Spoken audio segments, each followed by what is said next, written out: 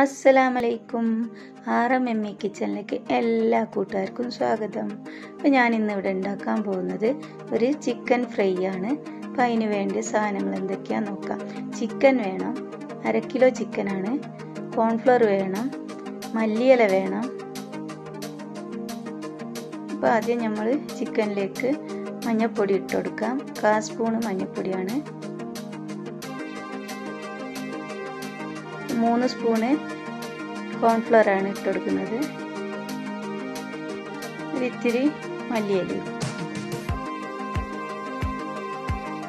അല്പം ഉപ്പ് ഇട്ട് കൊടുക്കാം ആവശ്യത്തിനുള്ള ഉപ്പ് ഇട്ട് കൊടുക്കാം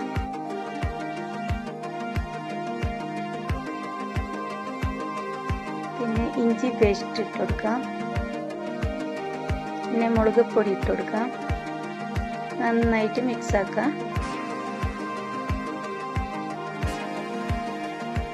പിന്നെ അത് നമുക്ക് ഫ്രൈ ചെയ്തെടുക്കാം.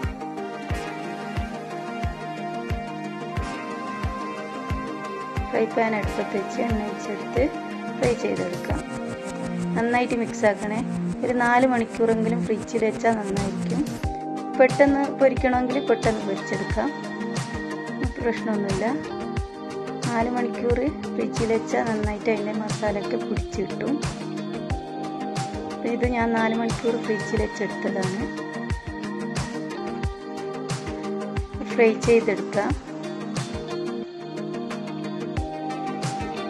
നന്നായിട്ട് ഫ്രൈ ആയിട്ട് വന്നിട്ടുണ്ട്.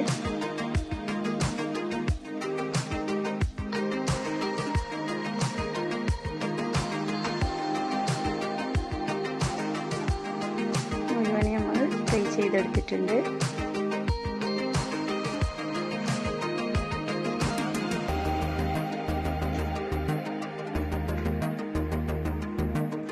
മുഴുവനായിട്ടും ഫ്രൈ ചെയ്തെടുത്ത് നമ്മൾ സെർവിങ് ബോളിൽ സെർവ് ചെയ്തിട്ടുണ്ട്.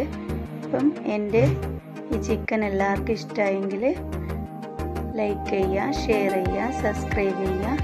അപ്പം ഇനിയൊരു വീഡിയോയിലൂടെ കാണുന്നതും അസ്സലാമലൈക്കും